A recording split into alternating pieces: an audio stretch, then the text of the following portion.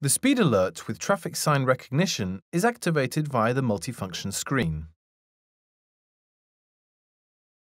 The system detects speed limit signs on the roadside and displays the speed limit on the instrument panel. In the event that you exceed the limit, you are alerted by a visual warning.